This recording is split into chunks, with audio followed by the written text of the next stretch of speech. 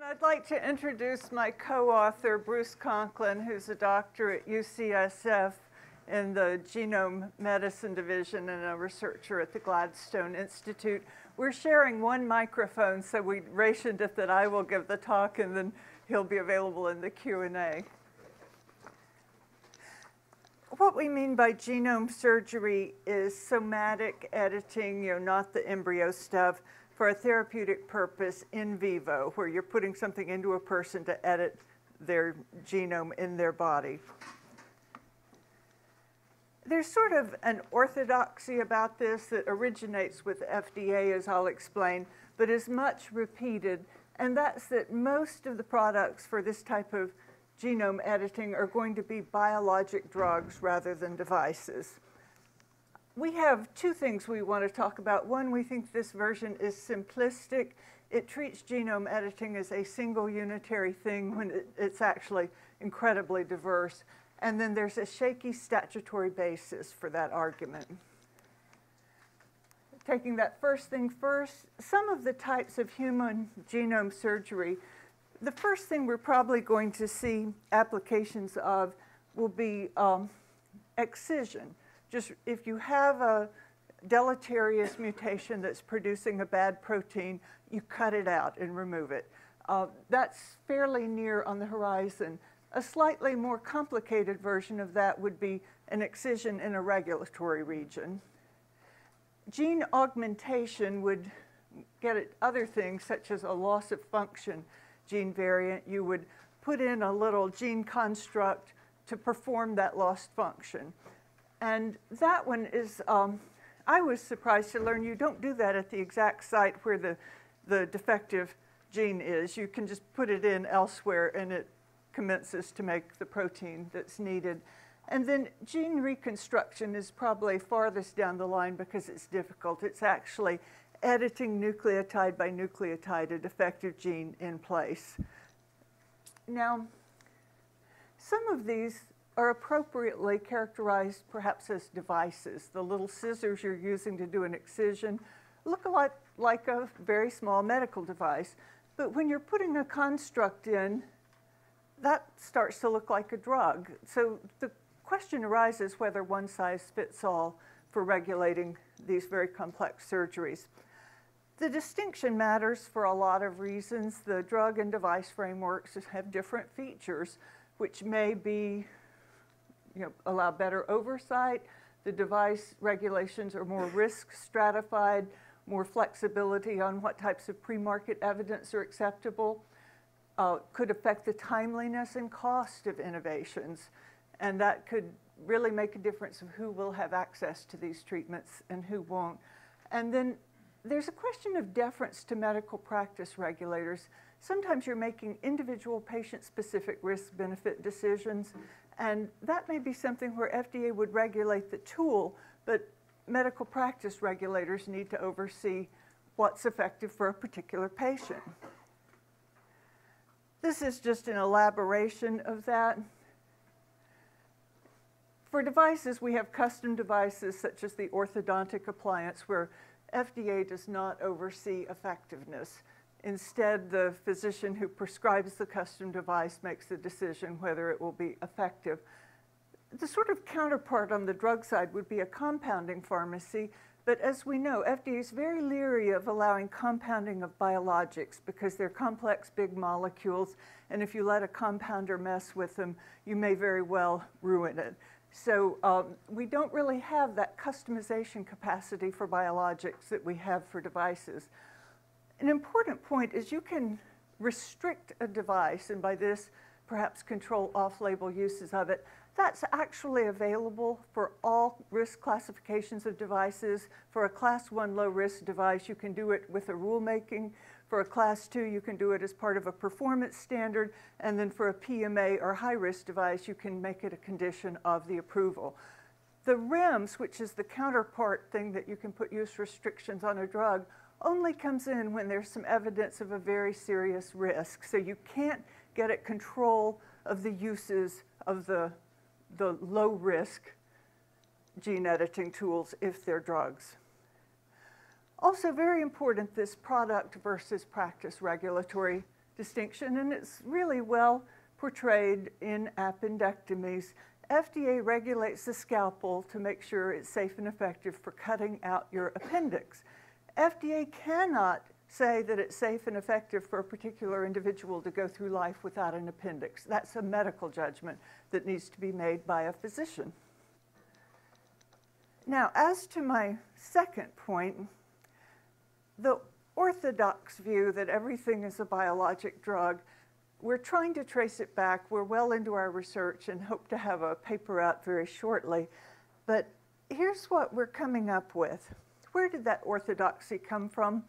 There was a 1993 policy statement by FDA in which FDA defined something called a gene therapy product and then opined that if a gene therapy product used a viral vector, then of course it was a biologic and also a drug.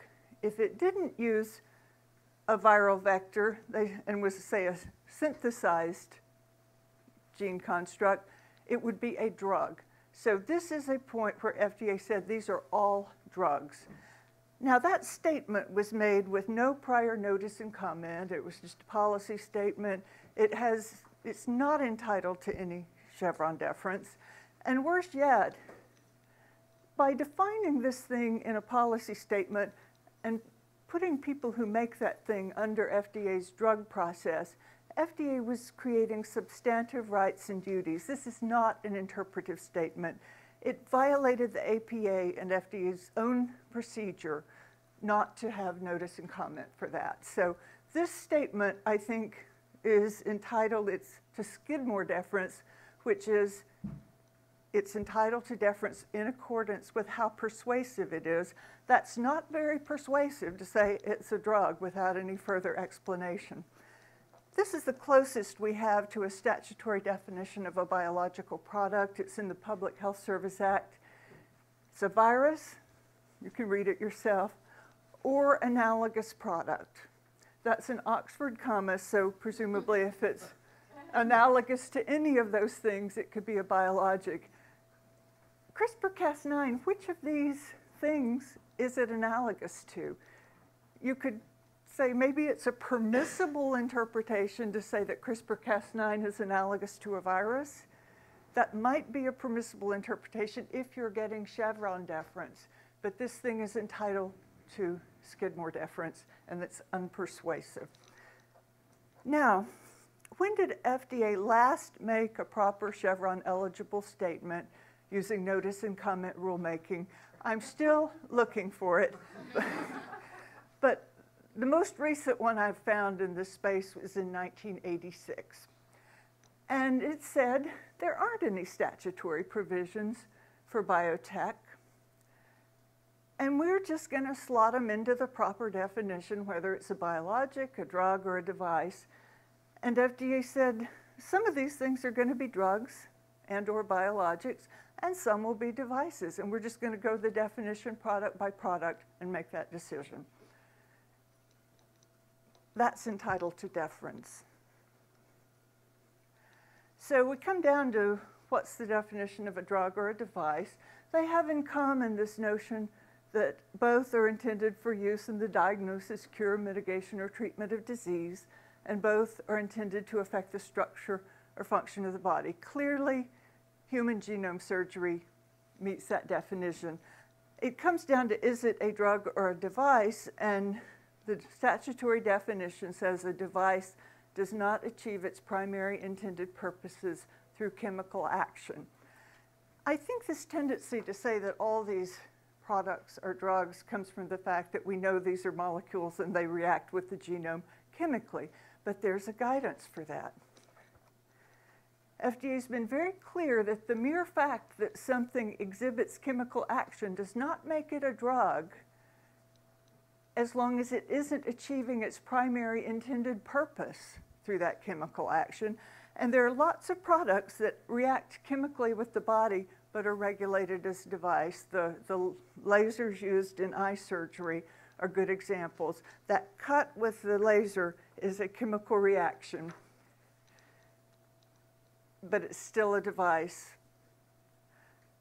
We're specifically focusing on that first realm of surgery involving excision. And without prejudicing whether the other types of surgery would be drugs or not, we think there's a very strong case that excising a deleterious gene variant, the CRISPR Cas9 or other gene editing tool is a device. It's cutting. The health benefits do not come from an ongoing chemical action by the cutting tool. They come because the bad gene is thereafter gone.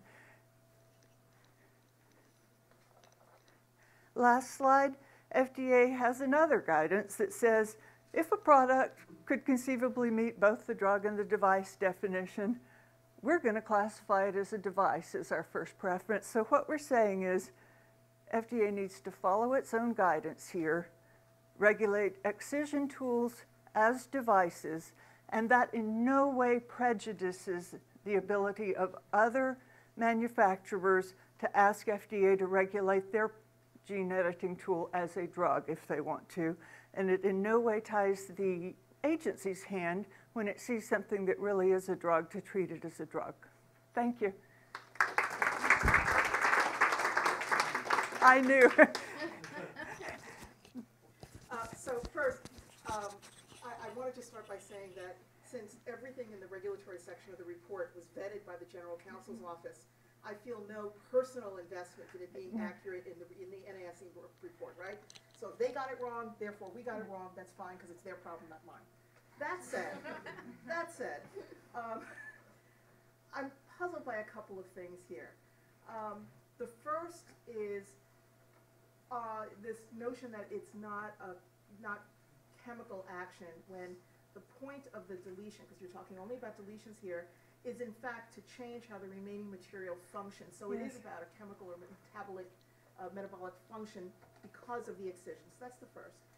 The second was I couldn't make, I really didn't understand where you said that the oversight is better for devices. For s- some is- applications, Um, for the custom device, um, well, we need- probably need to talk Cedar about. is laughing now. Absolutely. Yeah. Um, no question about that.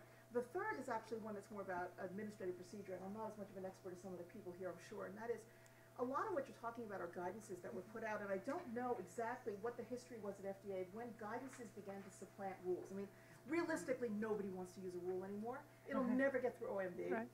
And so you do everything by guidance, which Right. theoretically is not legally binding, but everybody knows in Mhm. practice it's incredibly important. And those are subject to a certain amount of notice and comment, it's just Right. not as formal as the notice and comment for rulemaking. So it might be important to know kind of the, the parallel sequence of Well- events in the administrative procedure along with the statements. Um, because that seems to be crucial to your argument about Chevron deference, which regardless may be going away Well, these days anyway. Exactly. Well, first of all, uh, in regard to quoting the NASM report, we in no way intend to criticize that. We understand that report was taking a 30,000 foot view not only of U.S. law, but the law of other And like I I'm not- jurisdictions. truly not defensive about it, because Right. honestly, if it's, it's wrong, it's their problem. Yeah, but I was just quoting that as the fact that this orthodoxy is very respected and receiving it. Um, the 1993 guidances FDA issued on various aspects of, of gene editing have been enormously influential and are still followed. The one on, on genetically modified food being an example. It was upheld and given Chevron deference a month before Mead, the decision that clarified what is entitled to Chevron deference. Had it come along a month later, I think the outcome would have been different. But um, FDA does use a lot of guidances. They are, nowadays it has the level one, level two guidances, and, and the ones that are creating substantive duties would be more expected to have notice and comment. But um, this is just saying this traces back as far as we can tell to a guidance that doesn't have any particular status and doesn't seem to be a um, interpretation of the statute that, that makes a lot of sense. So we think there's room to debate. FDA regulates things product by product. I think this notion that there's a sweeping statement we can make about all gene editing is just counter to um, FDA's way of doing things. Different gene editing products, some may be devices, some may be drugs, and that's a decision that will be made each time someone puts one forward. We think sometimes the drug regulatory pathway will be superior For example, if it's uh, something for a hemoglobinopathy that a lot of people have, where you have a large enough sample you could run a clinical trial, that's great.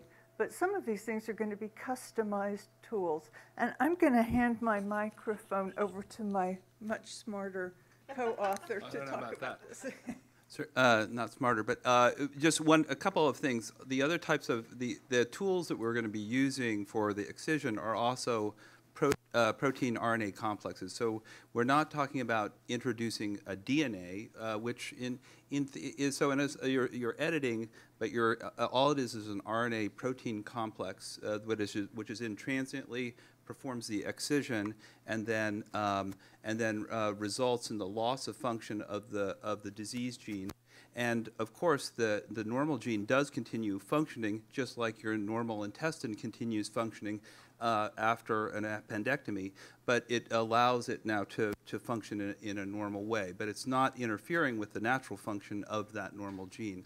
Um, the other thing that uh, is important to note is, I think, because of the, uh, this is a terrific collaboration because actually we are, because of the work uh, and the, the collaboration, we're actually defining clinical trials in such a way that we can, and, and studies in such a way that we can actually, uh, you know, provide the proof essentially, or the, the evidence uh, either for or against uh, our hypothesis that in, in fact a series of scalpels, for instance, uh, could be used. And what we see is a patient comes in, they are, are, are sequenced. Uh, we, we know uh, for many of these genes, there's hundreds of mutations that cause the negative uh, result. And so it's impossible to make a scalpel for each. But we have a series of scalpels that, say, for instance, are, are uh, take advantage of ancestral uh, SNPs uh, so that maybe 10 or 20 scalpels, essentially you choose two for, the, for Alta would get uh, one set and, and uh, Barbara would get a different one uh, because you have different ancestors and then you'd use those to, to take them out. But the individual combination would be, had to be individualized for every patient and it would be almost impossible actually to get this through the drug regulatory pathway because it's customized per patient. The numbers of patients that we're talking about are, are, are small for each pair of guides uh, that are, are scalpels, but in some, we're talking about tens of thousands of people who have a genetic disease. We have, have, to realize that of the genetic diseases that are really available for um, that, that could be uh, treated with a drug type treatment, uh, it's only probably five, less than 5% of all genetic diseases. 95% of genetic diseases are, are, are, are completely inaccessible via the drug pathway because it's just too expensive. And uh, this is what we're proposing is, is safe and would open a door for a larger group of people. Thank you. Have we cracked yet? Are we out of One time? and a half minutes, so a quick question and a quick answer. Okay, one. I'll give, a- I'll give a quick question. Okay. Why think that it has to be drugs or devices rather than something entirely new? Oh, that's a good question. And the question from Glenn Cohen of Harvard is, uh, why do we think it has to fit into one of the existing slots on which FDA has jurisdiction? Uh, Congress could define something new. They have continuously not done that since the 1980s. But That's right. Hope Springs. now that they're working at prime effectiveness, who knows? Despair is very true. Thank you very much. Thank you. And my Greenwall project has been looking at the various ownership rights that people have in their, specifically in their genetic data, but that also bleeds into biospecimens as well. So I've been thinking a lot about the possible entitlements we might have related to our bodies. And in so doing, I really want to answer the question, so what are the rights we have in our bodies? What are the rights we want to have in our bodies? And then what can the law do to facilitate that?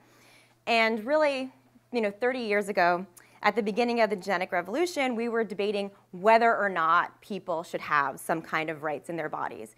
And at this point, here we are, three decades later, and it's pretty clear that we, in fact, do have some rights in our bodies, right? But those rights are pretty scattershot. They're spread across a variety of doctrines and different sources of law, right? So this question about what are the rights we have in our bodies and what are the rights we don't have in our bodies, which is also an important question, is something that I think is just going to continue to grow in importance as we see biomedical science advance.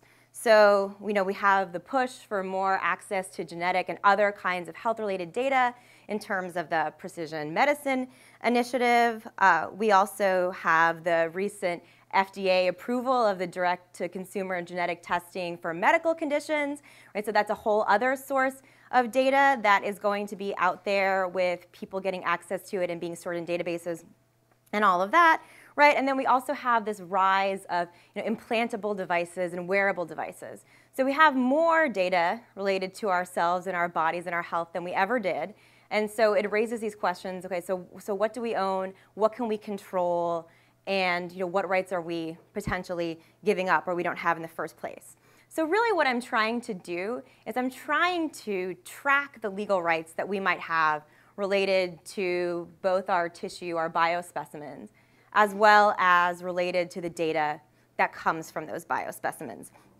Uh, and this is a very, very preliminary stage project. I've called it BioRights because that is something that I think I found in a Uh, Washington Post article or something people said more patients are asserting bio rights, and I was like, that's a good law review title, right? So what are bio rights, right? So what does this mean, right? And and I think that it's it's my hope that if I can manage to catalog what our bio rights are and what they aren't, we can think then more deeply about the rights that people enjoy and then the rights that people want that they might not currently have. So this is at the very beginning stages, and I really only have one slide right? Which is I, I've taken a preliminary stab at thinking about the different rights that we might have in our bodies and the different places within law where we might find those rights. And I'm sure that this is a this is a preliminary list, so I'm sure that it's incomplete. So I'm very excited to have the opportunity to present to you all today so that I can supplement it and add nuance. Uh, but so this is just a very rough outline. So, you know, first of all, of course, we have some constitutional bio rights right? And this is predominantly resides in the right to privacy. Uh, and these other rights that I'll mention are arguably subsidiary, right to the right to privacy. But you know, we have a right to bodily integrity. We have a right to, to freedom from restraint. Of course, we have reproductive rights and other rights related to medical decision making. So, you know, we also have the right to dictate, you know, what medical treatment we want, the right to refuse even life-saving treatments, right? And then at least one court has held that a, a, person should not be compelled to donate tissue even if it's medically necessary, right? So there was someone in uh, Pennsylvania, and I think he had a cousin who was in need of bone marrow, and the cousin that had could have been the potential donor just didn't want to donate. And the courts got involved, and the court said, you know what, this would infringe on, on your constitutional rights to compel someone to give tissue even if it's medically necessary, right? So we do have some constitutional protections that apply in this sphere, but of course we all know, right, that the constitutional rights here are limited in some respects, right? We're all familiar with Jacobson v. Massachusetts, right? We're all familiar with Buck v. Bell. And these cases, I know, right? And these cases, right, they predate the substantive due process revolution, but they're still out there and they do still inform the kinds of rights that we might have related to our bodies, right? So we have these constitutional rights. Uh, we also have some federal statutes that give us rights related to the body. I've written a lot about the Genetic Information Non-Discrimination Act, and this particular statute, it protects against discrimination on the basis of genetic information in both health insurance and in employment. Um, and it also confers a what I call a privacy right because the law actually prohibits both health insurers and employers not only from using genetic information from for discriminating, but health insurers and employers cannot even ask for genetic information, right? So it's a really interesting question. So if your employer even asks you to give over, you know, to take genetic tests, then that would theoretically violate the statute, and you could get some damages for it. Uh, so those are some statutory bio rights, at least at the federal level. Uh, also, too, there are some state statutes that confer rights related to the body. I mentioned I've been thinking about ownership interests in genetic data and specimens, and I actually had two fantastic undergraduate students do a 50 state review of statutes looking for property rights because uh, I had heard, you know, piecemeal things every so often. Actually, in Texas, our ledge meets every other year. Every so often, this bill gets introduced that says that the legislature is going to grant Texans rights in our property. And in fact, you know, Governor Abbott, this was part of his campaign platform, is like, like your DNA is yours and you deserve to own it. So we're going to make your DNA your property, right? And to us, that sounds extremely confusing, right? I think very, it sounds good to constituents, and obviously, it doesn't ever, it doesn't actually ever make it through. But these notions of genetic genetic property laws, it's like, well, I want to see how many are actually out there. Uh, and these very diligent students, they found five states that have actually created some sort of statute, and those states are Alaska, Colorado, Florida, Georgia, and Louisiana. And these states actually say, you know, a individual is either your tissue or your data is your property, um, which, is, which is kind of interesting. Uh, and I'm, I want to take a closer look at those. Um, of course, also, some states have informed consent statutes. We're all pretty familiar with those. Um, also, too, and this is a place where I think I get, get help from folks here, I don't know a ton about the, uh, the right to donate organs or tissues. Uh, I do know, right, that the Uniform Anatomical Gift Act says that you can designate tissue and organs.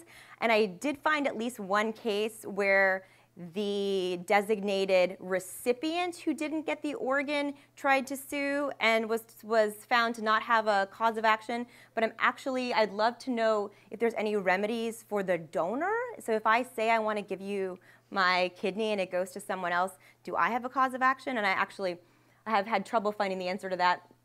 So hopefully you all can enlighten me at some point today, right? Uh, so those are some of the state rights. And uh, of course, we also have regulatory bio rights. So again, the common rule, right? So this is an informed consent related to research. Of course, there's HIPAA, and HIPAA also gives us some privacy protections, right? There's the privacy rule. There's also some HIPAA non-discrimination provisions, and these are, are more played out, right, in the, the regulations and the actual statutes. And then, of course, there are the HIPAA CLIA regs that give an affirmative right to access some kind, to access laboratory results, right? So those are my statutory uh, and regulatory bio rights. And then we have some just plain old common law bio rights. And so, tort law. So, I would propose to you all that tort law gives us some rights in our body, insofar as you know, battery is a tort. If you don't get informed consent, that's a tort. Invasions of privacy, breaches of confidentiality, these are all things where someone could theoretically sue. Right? So, those are rights that relate to our bodies. Also, too, we can find bio rights in contract law. And I actually teach contracts, so this is one of the areas where I'm most interested. Because what's happening is folks are actually now interested in contracting around rights to their bodies, right? And so I think many of us are familiar with the example of uh, PXE International, right, which they formed a collective, and then you know to, to then give access to their tissue bank, they you know required continuing interests and rights related to the, the research that came out of it, right? And so it is possible to contract for this, these things I call bio rights. Um, and then also, too, this might be the best venue for us to get continued rights to control or to collectivize. All right, so we're thinking, you know, in terms of if we want to create some kind of commons and collectivize, that would probably the legal tool we would use for that would probably be something that would be contract law. Um, so some preliminary observations from this chart that I've put together for you guys today. Um, I think for the most part, from what I can see, and I would love pushback or again, nuance here, most of our bio rights seem to be negative, right? That is, they're freedoms from instead of rights to things, right? So that's one thing. So freedom from bodily restraint, privacy is really freedom from invasion, freedom from discrimination or these non-discrimination provisions, freedom from unwanted touching in medical procedures. But insofar as we're, we're granting positive rights, see, at least at the regulatory level, right, when we're thinking about the access to lab results, you don't have a private right of action, and you don't under the common rule, right? And so you, you know, have to go through an agency right? And the major exceptions to this is we do see some positive rights in these state property laws and then these contractual rights that are negotiated ex ante. So the thing is, people seem to quite clearly want more positive rights in their bodies, and they want to be able to enforce those rights directly and not depend on agencies. And so, case in point, Henrietta Lacks's family was recently in the news again threatening to sue a lawsuit. And they found a lawyer who said that they had this theory of continuing tort, that her family had continued to experience these legal harms from Hopkins and they were going to recover, right? So nothing's been filed to date. I've been waiting. Um, but I'm really curious what this lawsuit looks like because to me, I feel like calling this a continuing tort is really trying to fit a square peg into a round hole because they don't really want a freedom from, right? They don't really want freedom from invasion. They really want a right to. The thing they want is they want to be compensated, right? So they're trying to take some take a negative legal right that they have and construct it into some kind of positive right. Um, so my thoughts here are that I don't think these genetic property statutes are going to gain popularity anytime soon, right? So that's likely not going to be our vehicle. So what can we do to give folks some kind of a right of action related to their bodies that they can enforce directly? And I think the best bet is you want to contract for those kinds of rights ex ante. People should negotiate before they give their tissue, before they go in, in the data bank, right? However, I think that there are, of course, some issues with contract law as the primary tool for bio rights. Uh, first of all, that's a piecemeal ad hoc kind of a solution, right? So we're just doing it on a one-on-one kind of a basis. It doesn't really help us as a group know the kinds of rights that we have in our bodies. Also, too, it could slow research while people dicker over terms, right? You want more of an interest, you want you know, a particular percentage of something. So it's possible this could have a not great effect on research. Also, too, right, the Contractual rights would depend on the relative sophistication of the parties.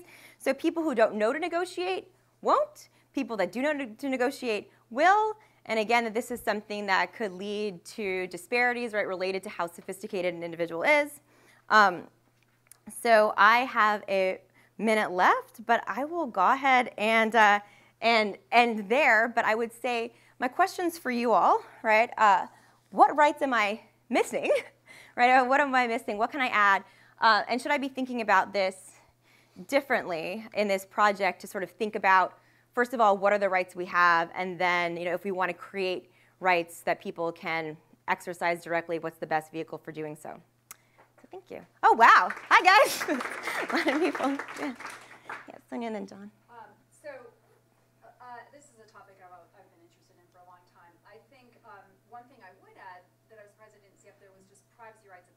Yeah. Maybe you sort of figured that was under the GINA, but that sort of thing. So that's a much more common thing than the property rights oh, yeah. um, in those five states. The other thing to think about is how are, are the rights limited to a particular context? Because those property rights are really in the context of insurance, and I don't think they're understood more broadly. And I think only one state looks at it as tissue samples. And then, yeah. of course, you have the flip side of the common law declaring that there is not a property interest. So you've got those tensions right. at work. But on the contract route, you might want to think about some of the comparisons with contracting around disposition of embryos. Yeah. Right? Because that's, that's a particular kind of tissue, it's a particular context, but at least you see a lot of strength of that approach. A lot of jurisdictions seem to be moving in that direction, and so that would bolster your idea of the contract approach. Oh, yeah, that's fantastic. So, that, so I should definitely, you're absolutely right, I should definitely add all the, I mean, I'm so GINA focused, I should definitely add all those early state, you know, those, you know, 46 or 48 state laws in. That's fantastic. Yeah, that's great. And then John. Yeah. Uh, yeah, uh, when you mentioned property rights here, I think of genetics. I just uh, two brief quest questions. Would it matter if, or does it matter that uh, versus Porter Regis said there's not a property right, but a, a right to informed consent? Because explain how, how that matters. And and the second point is, if one uh, discards uh, something that has one's DNA on as we know then. Right. It's abandonment, and the police or others could access it. Does their right of access include a right to do genomic testing to identify all that information aside from just determining identity? So the first question, I think this is such an interesting issue. So this has been so. I think that the so you can't contract for something you don't own, right? So I couldn't sell Sonia John's car right? Because it's not mine to sell. So if Moore says, if the common law says you don't have an interest in your biospecimen or in your material, can then you make can you contract around it? Uh, and you know, I think you can in part just because people are, and, th- and this is something, this is a different question, the enforceability of these contracts are really interesting to me because one of the things I've been doing is looking in the terms and conditions of the direct to consumer genetic testing companies. And they say some really interesting stuff. Like, I'm sure you all remember everyone was upset when 23andMe sold access to their database. And that was because people agreed to donate and they actually signed in, in, in the fine print, they signed over any rights they had in the data, right? And then um, I think Ancestry, in their terms, they say you maintain rights in your genetic information. However, you know, they have this license to do whatever they want with it right, in terms of selling it or studying it or all those things. And so I'm actually working uh, with one of the VPs at Ancestry because we're, we're interested in figuring out, you know, do all of those terms and conditions mean anything? Can I grant a license in something that I don't own? I don't think you can, right? So there, there's something that's running in tension to Moore there that I think is really interesting and that we haven't completely unpacked because people are signing contracts and negotiating around this stuff. And so if there's no underlying legal entitlement, I'm not sure what that means. Are we just creating legal entitlements out of thin air? So that's something that I definitely I have on my mind that I've been thinking about. And then in terms of discard, I'm sorry, you ask your discarding the data question again? I've Yeah, yeah, yeah, One discards something that has one's DNA on it. The police or others are, it's open to all the world. But does that right of being open to all the world includes a right of, of the new owner to do genomic testing on that sample of DNA to reveal, uh, uh, uh, uh, risks for disease, everything else? Or is it just a right to identify the person? Right. So so this is Know more about this. but- yeah. This is well, so that. but no, but I just wondered Yeah. if you thought about that. So it's an, yeah, it's an interesting question, and there's something uh, that Mark Rothstein has referred to as genetic stalking, which is you know you take the you know you I come around, I collect all the cups, and then I you know test and I learn all kinds of things about you guys that you didn't want me to know, right? And that has been, I think Elizabeth Joh has written about it being crim- that's criminalized in some states, I think, and in the UK, yeah. Um, so you're not, and so I think that's an unauthorized use. So having possession of the specimen is not necessarily as having permission to test the specimen. And I think that is true. I, I would imagine it's true in the criminal spheres too. You're testing for identification, and you're not supposed to be figuring out, you know, ancestry or heritage or something like that. Um, yeah. One minute left. Oh, yes. Oh, well, shoot. I'm so okay. That's.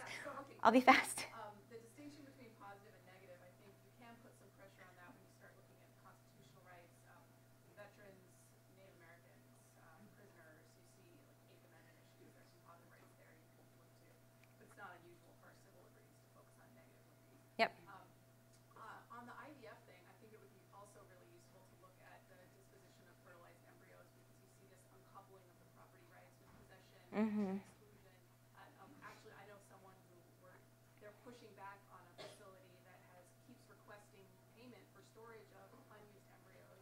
And they're trying to see how far they can get that facility. Yeah. to go before- Are they going to send them to collections? Are they going to destroy the embryo? Yeah, Like, it's what so are they interesting. going to do Yeah. with it? Like, I'm, like, we're essentially calling their bluff. Like, what are you gonna do with it if you don't pay? Um, because in some states like Oklahoma, it's illegal to destroy the embryos, but then who's paying for the storage? So anyway, that's.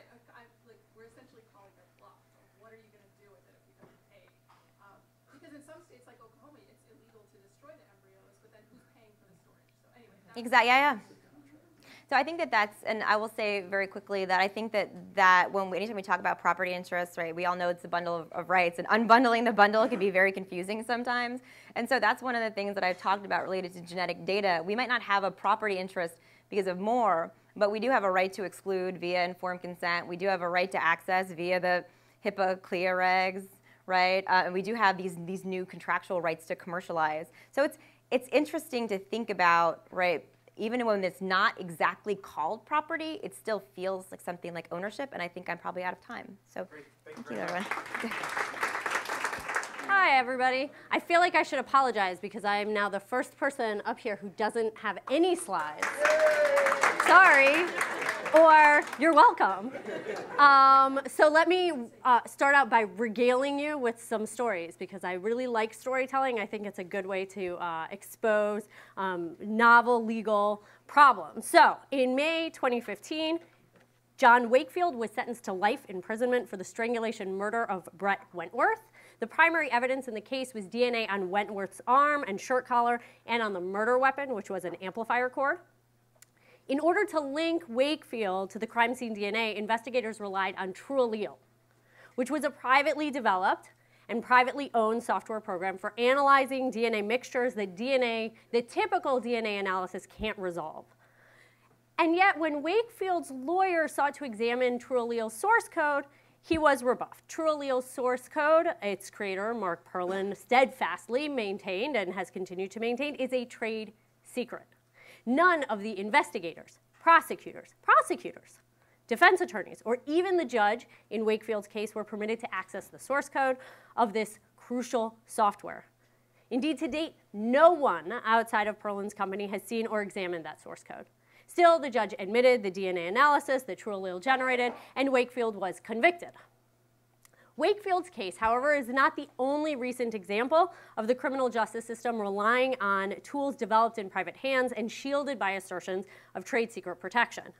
In March 2016, the Maryland Court of Special Appeals became the first court to hold that the police cannot, without a warrant, make use of a Stingray device, which basically turns a cell phone into a real time tracking device of startling precision.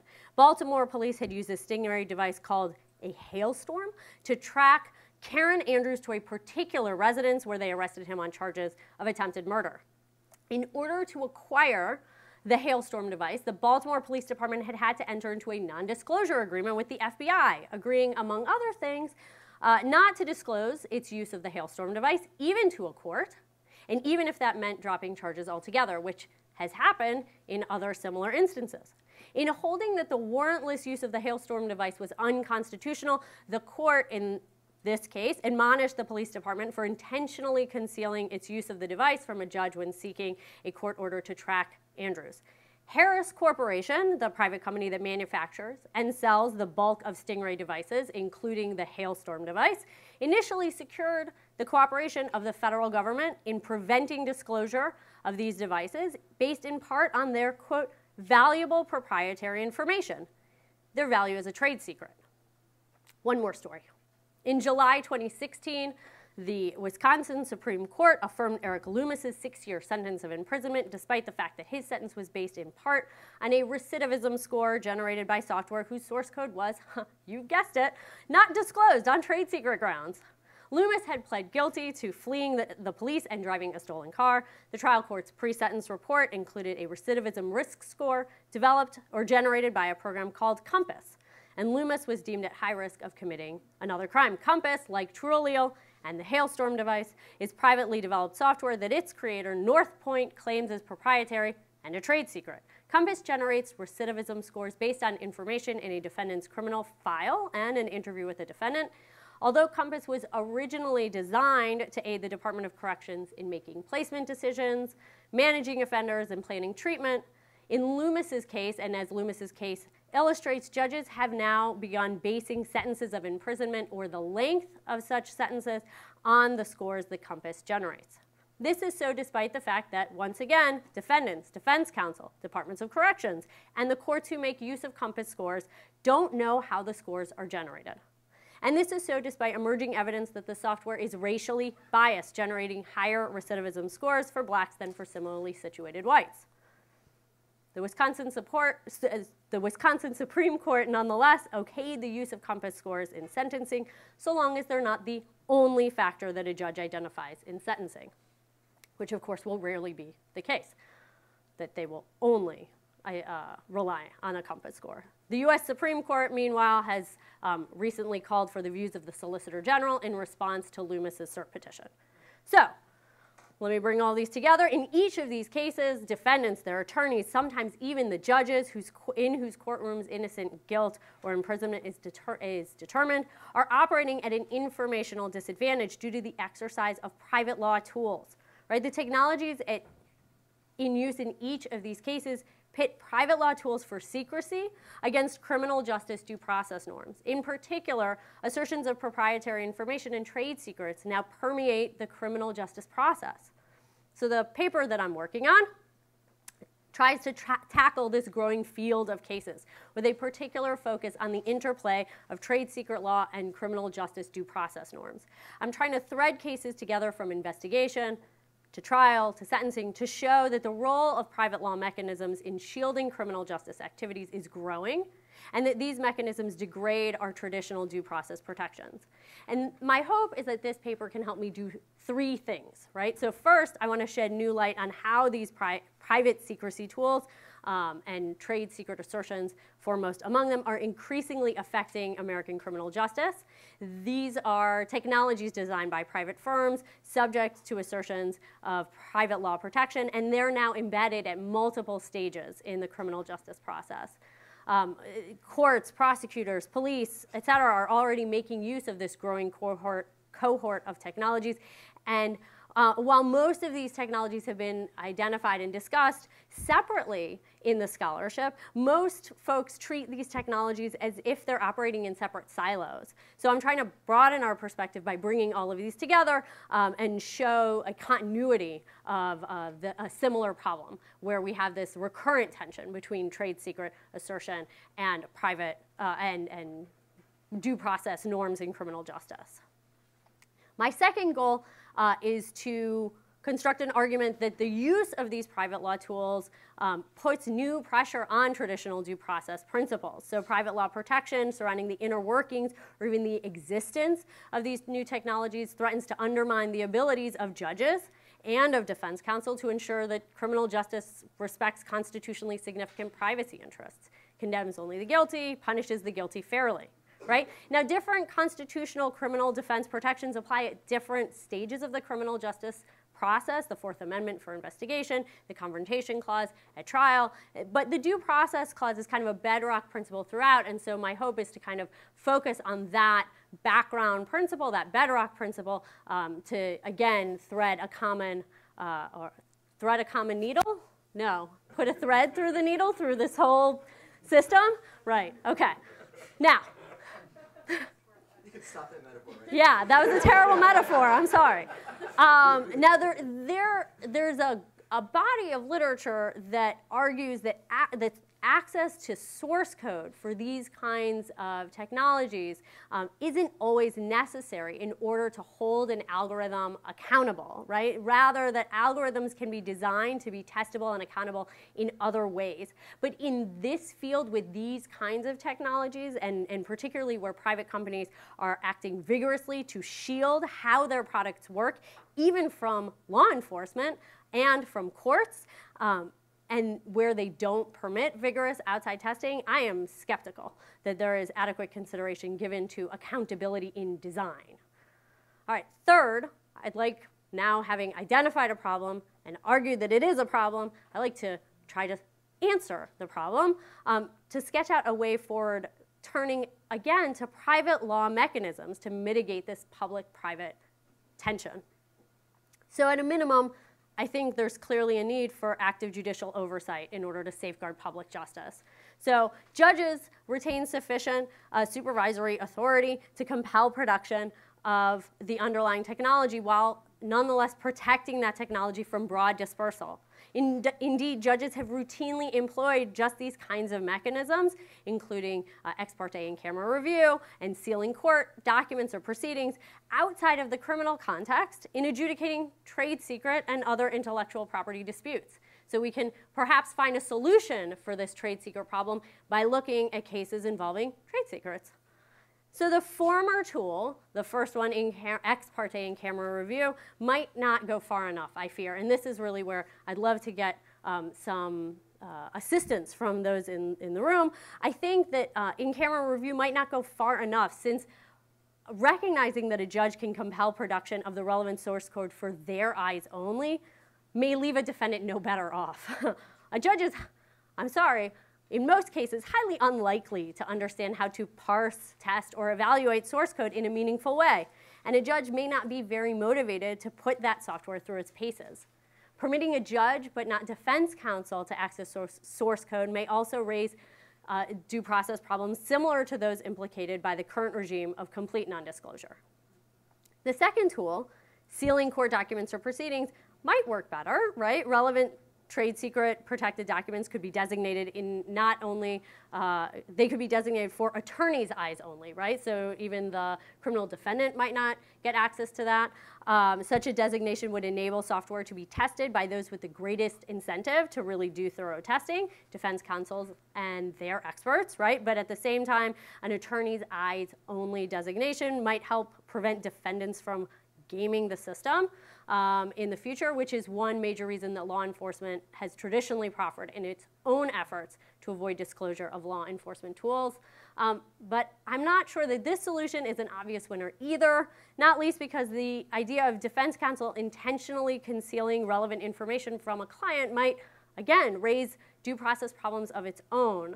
And the public generally has a First Amendment right of access to criminal proceedings, which further complicates this perhaps otherwise neat looking solution. So that's kind of where I'm at. I would love your thoughts on possible solutions, uh, and thank you. Yeah. So why not just pull whole hog and say you can't have trade secrets and this kind of stuff? If you want it to be used in something that's a key matter of public concern, and no trade secrets for you. Yeah, so that. Repeat the question. Oh, yes, right. So Nicholson, thank you. Um, asks why not just have a rule that if you want to develop something that's going to be useful in criminal justice, say no trade secret protection for you, um, which is often the solution that my crim law friends uh, answer me with, and I, I don't know that that's really drawing the right balance either, right? So w- we don't want to necessarily um, under incentivize folks to create these kinds of technologies by saying that, that they can't have any sort of protection in that arena. Um, and so I'm not sure that that, or I fear that that might go too far in the other direction. Yeah. mean, you could say patents, but anyway, sorry. Yeah. Yeah. Yes, uh, Jake Sherkow. Um, so, um, two things. The first thing, I, I, I want to push back, if I can, on the notion that it is possible to reproduce the outcome of some of the software without, in fact, examining its source code. Victoria Stodden at Illinois has written, I mean, it's essentially like her entire oeuvre is about all the things that could go wrong here.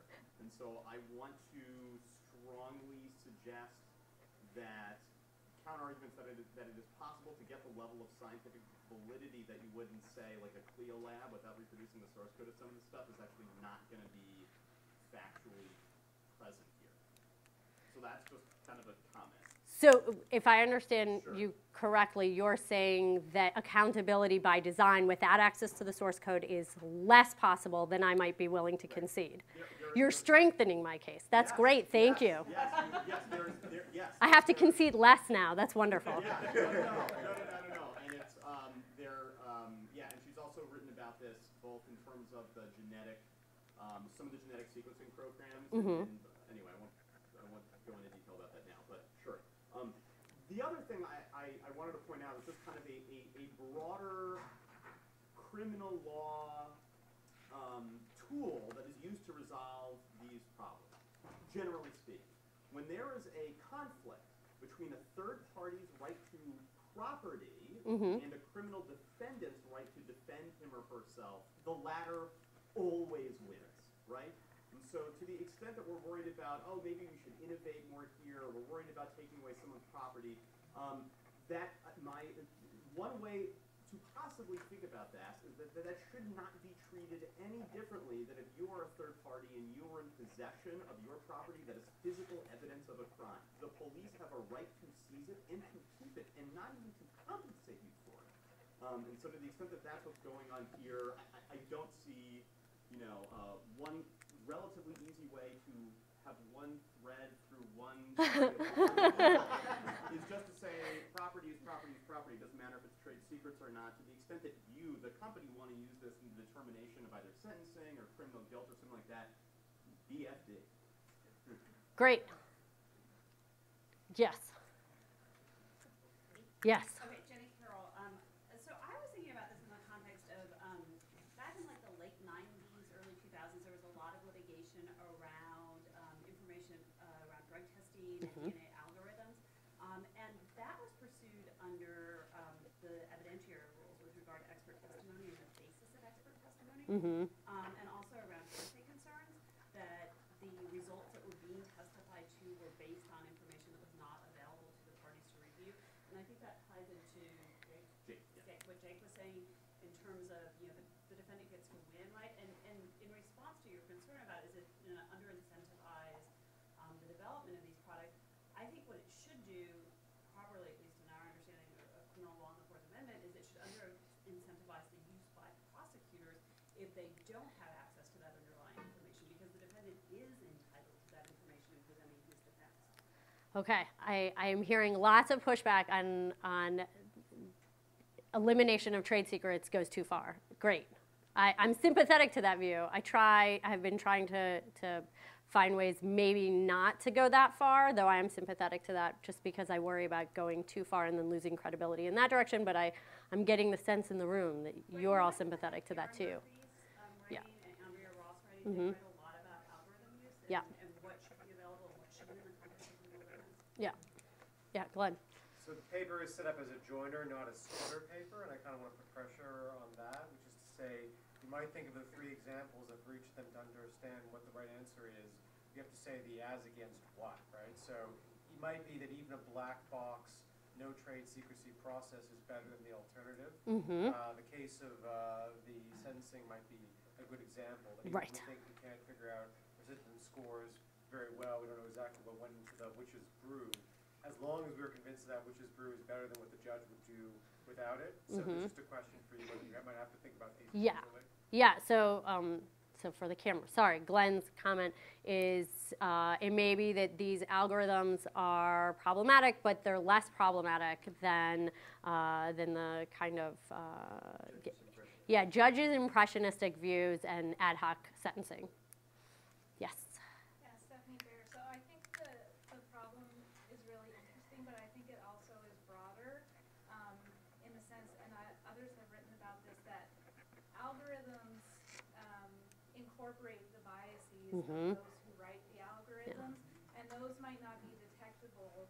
Yeah. Even if everyone has access to the source code, right? And so, um, and you can even think about artificial intelligence situations where the developers themselves are not fully aware of what's happening and what kind of biases are being kind of perpetuated by the algorithms, right? So I think that's, um, uh, maybe for future work, some, uh, kind of a broader issue to deal with with these types of algorithms. Especially because they give the veneer, right, of, you know, it's- Objectiveness. It's of objectiveness, yes. Yeah, yeah, thank you, Stephanie. I'm going to not repeat that so I can get to one more hand. Yes. Very fast, and I, I apologize, because it's not gonna help you. But in, That's okay. but in the world. I of welcome legal- it. In the world of legal realism, as our, our colleagues from Alabama probably know all too well, our new AG has rejected the actual use of science to prove or disprove the, the predictive value of a lot of these tools. Old-fashioned tools, including, and, and algorithms can we know better, so I, I find it trouble, I mean, I find it hard to believe that we're gonna start eliminating trade secrets in order to make it more scientifically provable, when they Mhm. don't care if anything is scientifically provable. I mean, they, they just eliminated the independent commission, they've rejected Yeah. the PCAST report, they rejected the NAS report, right? So you're gonna have to fight an uphill battle on, on kind of a realistic political basis. I feel like I'm always fighting an uphill battle when I'm fighting on behalf of science. Well, Round of applause.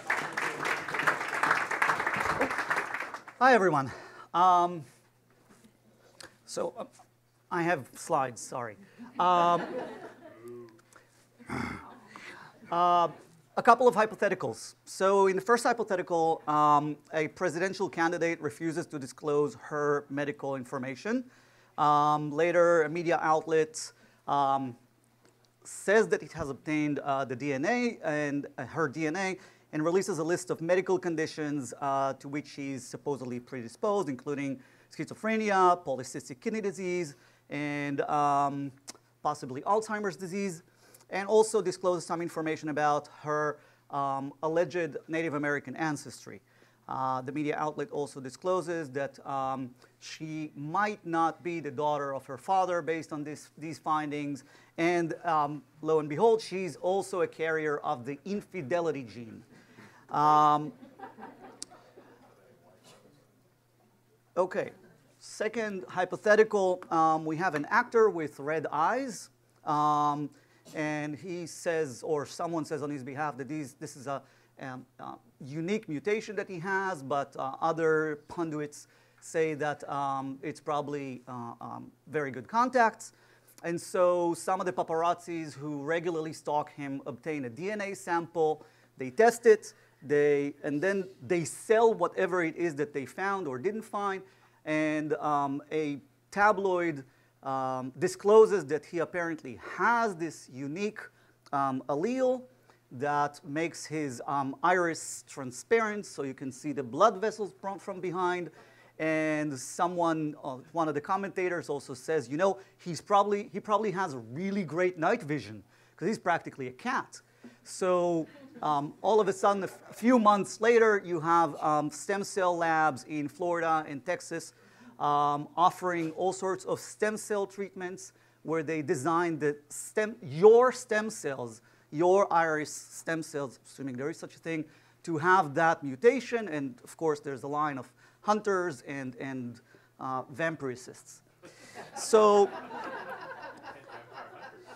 so uh, uh, yeah, vampirists. Um, there's a whole terminology, and I don't mean to offend anyone who's an adherent. So, um,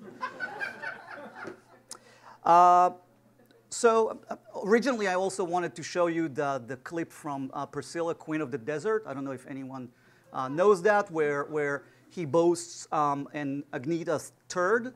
Um, but I come from the state of Georgia, and there's a boob in that scene, so I'd rather not be. Uh, um, so,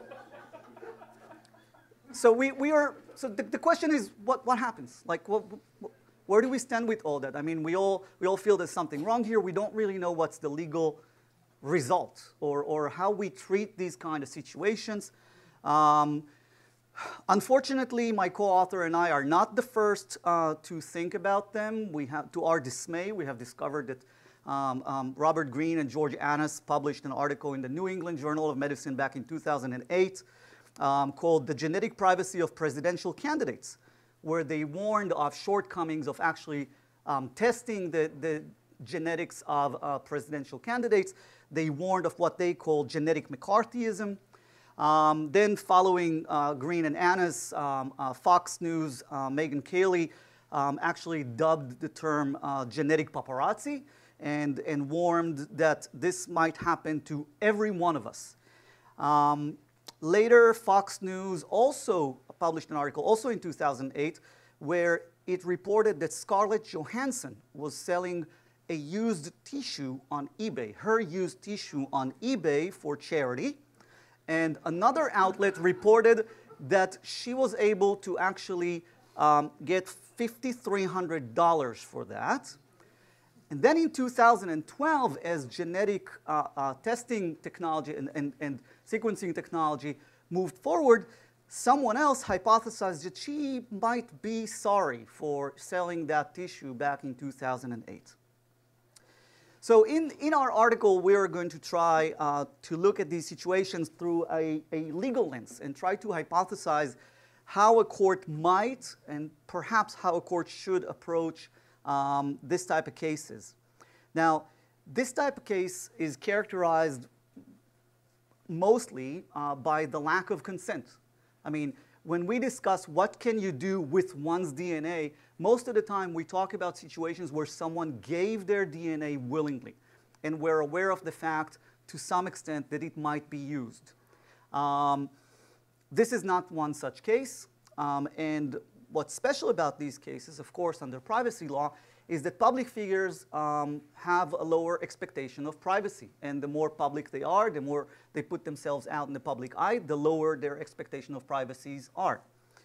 Uh, the lower is. Um, so, um, so we, we've surveyed uh, existing legal tools, concepts, doctrines that we have seen in, in, in, kind of related cases like Moore and a bunch of others. And um, and we think that are likely to be brought up in cases like the ones that we describe here.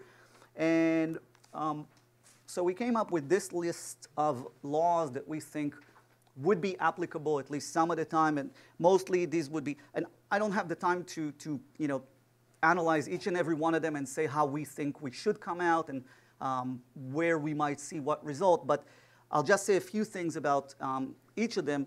Privacy law, um, as I mentioned, it's going to be applicable, but public figures have a lower expectation of privacy, so we're, um, they might not be able to um, issue injunctions against these type, of, or at least some of these types of uses. Um, and as we know, candidates for public office, um, in the case of candidates for public office, there's a strong argument for uh, why the public is entitled to receive their tax information, um, general medical information, personal history, financial history, uh, etc.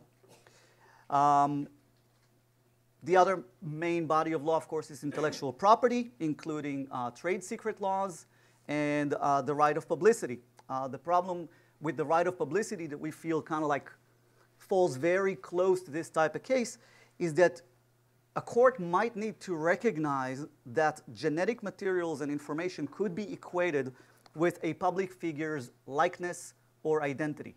We have seen courts equate uh, the right of publicity with their voice, of course, with their image, um, and with several other things, and now with slogans, and now um, maybe, maybe with DNA. We don't know. Um, then there are the torts of trespass and conversion. Um, however, to prove trespass and conversion, you need to prove that there was an abandonment, uh, which, as we know from um, recent case law, recent criminal case law, might not be the case when it comes to DNA that we shed all the time un- involuntarily all over. Um, and defamation and false light might be difficult to prove again because you know if you don't misrepresent the results and you don't overinterpret those results, you may be able to argue that you're actually saying the truth. Um, GINA would only come up, GINA, the, the Genetic Non-Discrimination, Genetic Information Non-Discrimination Act, might only come up in, a, uh, in an employment or an insurance context. And um, we also identified uh, genetic theft laws in several states. And, you know, Jessica, you mentioned uh, Elizabeth Joh's article. Um, and again, this is in just some states. There is HIPAA, and I'm, I'm sure that, you know, if you can think of more laws, I'll be happy to hear about that. But I think that for our purposes, this is enough, because this actually shows us that we're dealing with a whole range of laws that might or might not be applicable, that a court might choose or choose not to address. And so we don't really know what's going to be the result of something like that. And under each of these bodies of law, we don't really know, you know, what kind of narrative a court would accept. To date, we haven't been able to find any case like this, but we think that there is um, a likelihood that we're going to see something like that in the very near future. In fact, part of our project is going to be to ask, you know, newspapers and uh, quite possibly paparazzi why have you not done this until now? Like, how come you have not done this until now? What's holding you? Go ahead. Um, and we will see how that turns out. Um, now, as George Contreras wrote in his article um, about the narratives of genetic patenting, um, a lot of how these cases will be treated depends on the kind of law that the court chooses to address, the same way we saw this in myriad genetics. And, um, and that really depends on the kind of narrative that the court is going to choose to accept to begin with. So, um, and, and what I'm really saying is that there is tremendous uncertainty in, in cases that, you know, we should expect to see or are not, they're not as sci-fi as they used to be five years ago. So what does that tell us? and we think that it tells us um, something about the nature of cases that involve genetic materials and information in general. Um, we identify um, six aspects of genetic materials and information that we think um, should be considered in cases that involve genetic materials and information. No?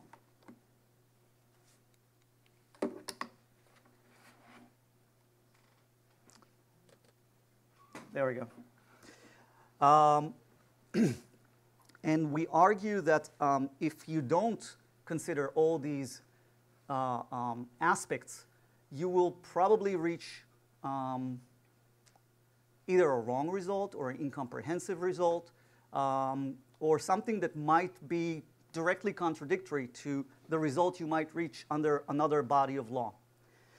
And we think that that's something that characterizes pretty much every legal arrangement or every treatment of genetic materials and information that we are seeing. So, where are we taking this? At this point, we are not sure that we're going to take this um, further. We just want to point out this problem um, through this example.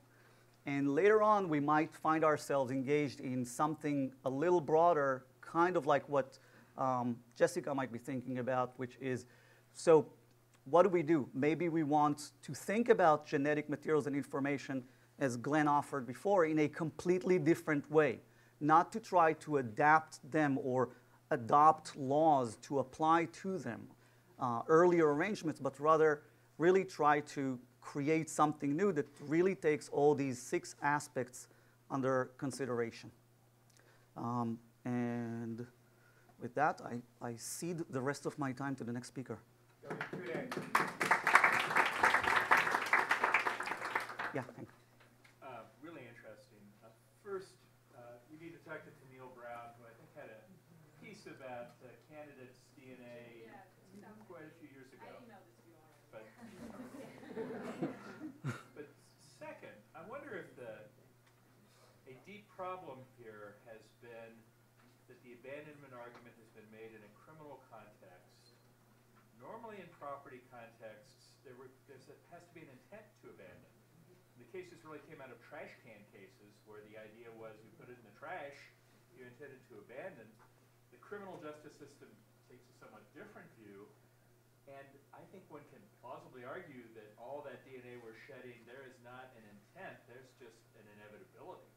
Unless you put yourself in a moon suit, that you're going to be shedding DNA constantly. So, you know, think about um, whether the how a how a tighter application of the abandonment doctrine might change this change the setting here. Yeah, I think. So, uh, really interesting talk. I, um, I was reminded during your talk of a paper by Seema Mohapatra on using facial recognition software to make diagnoses. And I, I wonder if there are ways to uncover hidden kind of preclinical evidence of disease or ailments without even accessing uh, DNA, uh, DNA genetic, genetic material using all kinds of different data, data points and using broker services and the like to collect information and, you know, gait recognition, uh, pattern recognition kind of material to, to, you're seeing this with Donald Trump where people are analyzing his, his uh, speeches and texts to argue for dementia or other, realize it's being recorded, it's all speculation. Bill Sage notwithstanding. Uh, So, you know, it is, uh, again, going back to your uh, point about broadening this in relation to your conversation with Jessica and Glenn, uh, should we, should we pass more kind of EU's uh, type of privacy laws that are much more broad and not so sector specific? So, again, you know, if, we, if you apply existing constructs on, you know, this case of genetic materials and information, and I will put aside, you know, the facial recognition technology that Seema discusses with respect to employers and all that. I have enough headache with that. But I do think that, you know, she, she's making a valid point that, you know, goes to, to um, privacy in medical information in general, not just under HIPAA. Um, so we think that privacy has a problem. Uh, George Contreras has another article about uh, um, genetic property, and he argues that if you're going to grant more property rights or more, more rights in genetic information, you're actually going to suppress research involving that kind of information. And again, you know, you see how you would say that this is a balance, but you'll see how one body of law, the one that you choose or you prefer, might actually get in the way of another body of law that represent a whole different range of interests, which in turn do not consider the first body of law. Perhaps. But we think that, you know, if you think about these issues, you need to think about them more cohesively. Um, yeah. Oh, um, ladies first. So, um, so I sent you the article, but what I find interesting is specifically with the public figures um, running for office, not the celebrities as much, my house, things like that. Um, they're the most public figures, but this is the most private information. And what seemed to be the, the real sticking point that I came to was that there isn't a good transfer of power if someone were to develop like a slow uh, degenerative disease, uh, neurological disease like dementia. The 25th Amendment was really passed for gunshot wounds and things like that, not for someone who might develop dementia. Um, so that seemed to be the sticking point. It's not so much the rich history of all political candidates lying about their health, or most of them lying about their Right. health. And they're not required to disclose anything, so what they disclose is very highly edited. Um, and yeah, it goes back way back with people lying about cancers and neurological disorders. and what- It's, it's, it's a fun history. But the point is that it seems um, there's Fourth Amendment stuff you into, the special needs searches, but the real stopping points seem to be that in the absence of a clear transition of power from the president to the VP that would be triggered, that would be uh, predictable if someone did have uh, slow degenerative neurological disorder, that we want more information up front, but the real problem seems to be we need a better system for checking on someone as. Right. I get, I get the quack, the virtual quack, so I'll stop here, and I'd love to talk more later. Thanks. I'm Dov Fox. Uh, I teach at USD School of Law, where I direct the Center for Health Law Policy and Bioethics. It's an early project on which I'm very grateful for your feedback. In a 1928 lecture to the New York Academy of Medicine, Benjamin Cardozo, then Chief Judge of the New York Court of Appeals, said that the law is, quote, derived from empirical methods of scientific observation and inquiry. Let the facts be known as they are, he declared, and the law will sprout from its seeds and turn its branches toward the light. In culture more generally, he noted, the bedrock conviction that we humans are exceptional and superior had been shaken by recent discoveries at that time that our species just evolved from some others and that our planet doesn't center our solar system. So, too, Cardozo said, my emerging findings in the biology of behavior force us to rethink cherished ideals in the law liberty, equality, justice. His audience recoiled.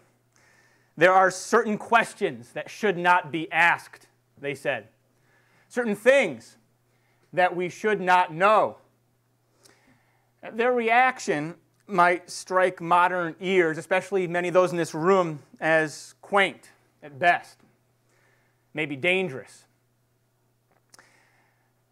This afternoon, I want to try to rehabilitate a version of this unfashionable concern about research that might challenge cornerstones of our democratic life. Let's call it subversive science. After explaining what subversive science is and why I think it's worth worrying about, I'll offer some thoughts about what I think we should and shouldn't do about it. What makes science subversive in this sense that I mean it isn't that it deprives research subjects of informed consent or inflicts avoidable suffering on them, like the um, Milgram shock study or Tuskegee syphilis trial or the prison experiment here at Stanford.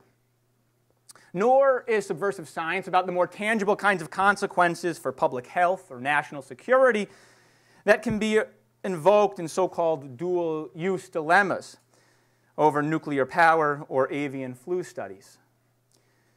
These more familiar worries about the means and ends of scientific research, deeply important though they are, are not my concern here. Subversive science is instead about the power that certain lines of inquiry have to dislodge public faith in ideals that occupy a prominent place in democracy. Consider two.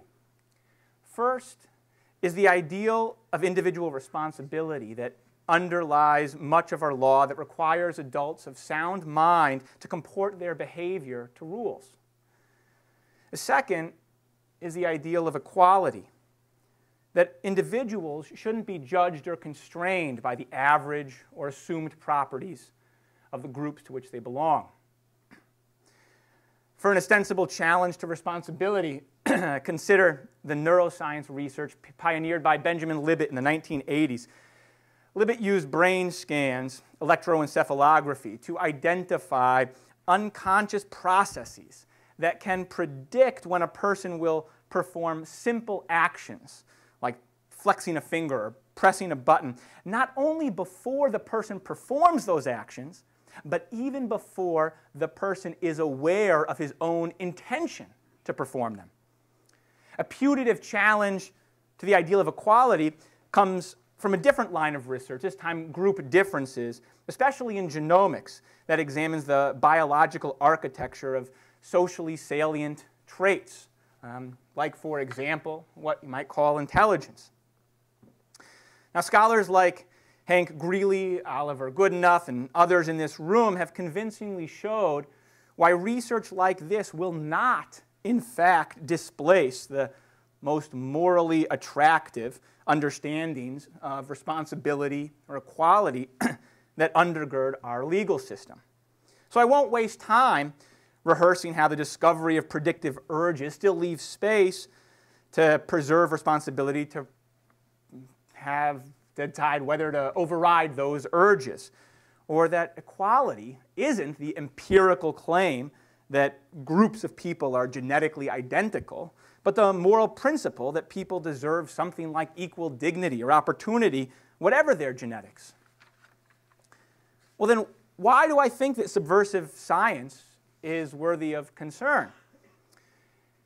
It's because even if it doesn't threaten abstract conceptions of these ideals, it might still erode actual perceptions of them in ways that predictably distort legal decision making. I'd come across some indirect evidence of this proposition, so I decided to test it for myself. I enlisted the polling firm YouGov to survey a representative sample of 1,200 American adults about their views on criminal punishment in a particular case and support for Head Start educational programs. The sample was randomly divided into experimental and three different control groups that differed only in respect of whether they were presented with one of the three various audiovisual treatments in place of accurate and measured accounts of the potentially subversive genetic or neuroscience described. Uh, time here doesn't permit detailing every aspect of the experimental design, but uh, let me tell you a bit about what I found. Subjects in the group that learned about the Libet style timing studies were far less likely than those in the control groups to punish a clearly guilty defendant when they were asked to assume the role of a juror in his case. It seems that exposure to research about preconscious intentions tended to reinforce mechanistic or reductionistic accounts of human agency that bypassed a role for the mindful self to drive his own actions.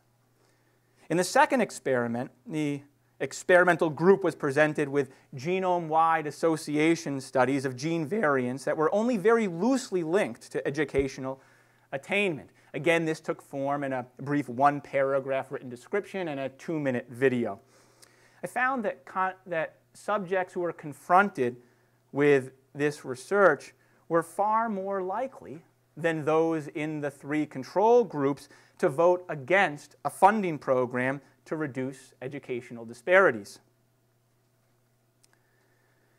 The genomic studies, though their conclusions were described in fittingly provisional terms, inflated the very kinds of essentialist beliefs that Alta Charo and Jennifer Handler discussed this morning in ways that appeared to confound their commitments to the ideal of equality among individuals. As I'll come back to later, these results cut acro across both scientific literacy uh, among subjects and their various cultural worldviews. Now, it's far from obvious what we should make of these findings. There's undeniable appeal in Cardozo's call to let scientific inquiry take the law wherever it may lead. Subversive science, moreover, has distinctive potential to free our legal system from false dogma.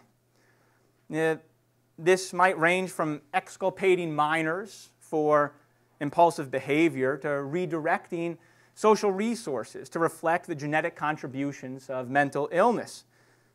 That could be a really good thing.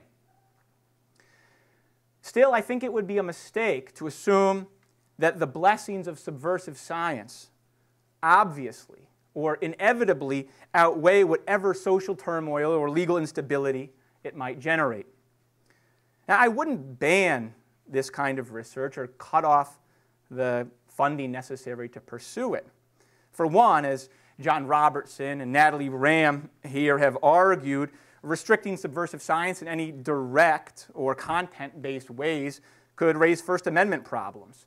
Besides, it'd probably be bad policy anyway, given the spillover effects on other branches of primary research and the serendipity that characterizes many of our most prized scientific discoveries. But more to the point, reframing the threat of subversive science in terms of perceptions instead of conceptions advises policies that target the communication of knowledge not its production. Now, scientists who are trained in the technical language of their discipline can't reasonably be expected, I think, to accessibly communicate the significance and limits of their own research in light of the implications and controversies that surround it. But my study suggested that scientific literacy wasn't the problem anyway.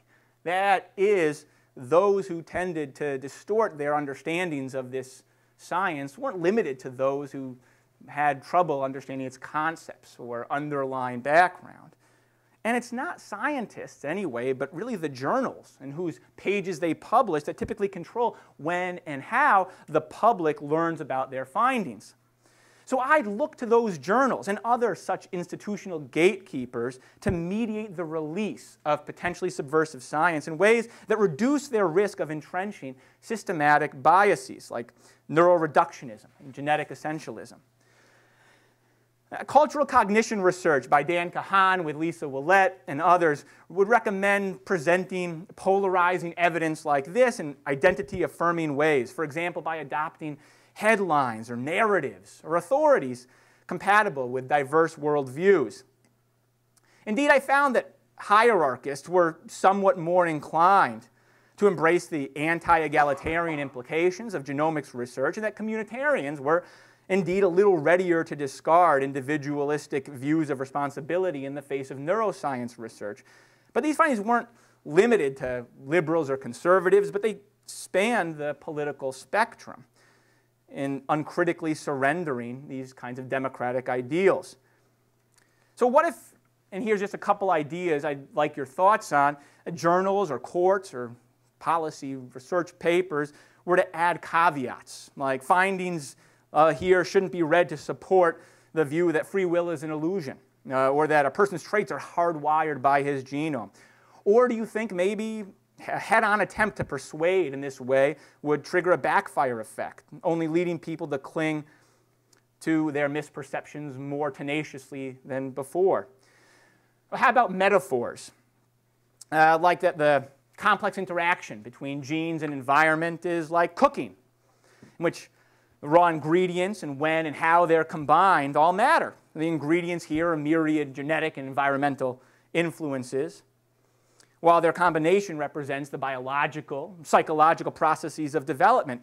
And just as you wouldn't expect to def define discrete ingredients as identifiable components in the dish that's served to you, mm, there's no simple correspondence these disseminators of scientific knowledge could convey to their lay audience between a particular gene and particular aspects of an individual's personality or behavior. Now, these are just a couple of ideas, some preliminary reflections on which I would be enormously grateful for your thoughts. Thank you. Yes. So, um, first I just want to point out the irony, maybe it's not an irony, that, um, to support your argument, you use social scientific evidence. Um, but, uh, but apart from that, I was, I'm just wondering, you know, how much of this problem arises, um, because even, even legal scholars, let alone the public, um, somehow think that science is normative, right? That science can answer normative questions for us. And I think that that's, that's kind of a conflation that happens all the time. And so in terms of your, um, your recommendations, not just, you know, adding caveats about what the science actually says or doesn't say, so this doesn't necessarily support the, the idea that there's no free will, but a caveat that, you know, this may or may not support the idea that there's no such thing as free will, but we as a community still have to decide whether we want to act as if there is something like free will, right? We as a community still have to answer the normative question, and so I just wanted to your thoughts. Restate the question. Thank you. Stephanie Bair's question um, was how much of this boils down to the naturalistic fallacy that the scientific is um, can give us the moral or legal ought. Um, maybe a good bit, uh, and I would take that as a friendly amendment. Thank you. I don't know that I have a whole lot more thoughts to say, except that I think that's really good. I think it cuts across a number of the problems that I recognize. I think this is a really interesting and obviously big topic um, that is. I, I, I would- I have a lot of questions about methods in in your experiments, and I, one of the things I would highlight for you there is make sure you have checks for um, effects of motivated reasoning, and shown over and over, to affect these things. And also, I'm really curious about your effect size, because I think your thesis is that it's not the, pa- the science that will actually dislodge it, it's the sort of interpretation of the science. And if you're talking about real world consequences in the law and reality sense, effect sizes would really matter. I would also really caution you to use Libet, not, not to use Libet, the Libet studies as an example. They have been roundly critiqued and debunked, and also there's really excellent updated work by Uri, Maoz, and Gideon Yaffe, um, with a much more scientifically robust explanation of what, what Libet found and what those, what, what's actually going on in the brain. But what I, I think my biggest friendly amendment would be, I'm, I'm, I'm not convinced yet that, um, you're, you're, you're talking about science and not only just scientific communication. I heard you say that, but that was part of it, but it seemed like there was a premise under there that there is still science that challenges these things that some, because of its interpretation, But you're, it, it, I, I mean, Stephanie's point was the same, like, the science, it's not the science itself, it, it can't be, it's, it's people's interpretation and understanding of an incomplete especially when you're talking about something like Libet or genome-wide association studies, so. Um, subtle, it's like, a, uh, i- is it really the science itself that's subversive? Restate that. Uh, Emily, Emily, No, no, like, Emily Murphy offers some extremely helpful methodological recommendations. And, um, and the question of whether it is science or it's communication that is the problem. Um, and you know, I'm not sure. I'm not sure, and I'm not sure it matters. Um, the, uh, the, the consequences uh, that follow um, uh, concern me, and um, and I think they flow whichever, uh, however they're characterized, uh, however they're characterized, and I'd be interested if they, those consequences trouble others as well. Um, so you were asking about solutions, and you said, should there be a caveat? You know, this doesn't undermine our agreement in free will. And I think of George Lakoff's book, Don't Think of an Elephant, and uh, the research he's done, and he talked about the election. The more you talked about the problems with Trump, the more, the more that people were sort of solidified in their views that there weren't problems. I mean, it could do the exact opposite of what you hope. This doesn't show there isn't free will, and everybody thinks, oh my goodness, this really shows that there isn't free will. So I would look at some of his research on, you know, highlighting the thing you don't want them to think about makes them think about the very thing. So, Sonia Suter at George Washington had what I'm sure are brilliant insights, but all I could think about was that elephant. Um, that's really good. That's, uh, that's really good. Yeah. Questions, a quick question, quick answer. Uh, quick question, is it really science that's the problem here, or is it kind of an interlocutory class that is interpreting it and scavenging for anything that will be a- immediate a- ammunition in, in, in whatever the the piece is? Because my concern is that if you actually attack the scientists on this, you're gonna drive them away from, from public discourse. It's hard enough to get a good scientist to come in and actually try and, and, and- and talk sense into, into a public debate. Uh, I wouldn't put the problem on them, I'd put the problem in, in, in science reporters, you know, uh, uh, uh, politicians, other, other folks who are kind of interlocutory. Thank you. I'll have a good enough. Great suggestion. Thanks all.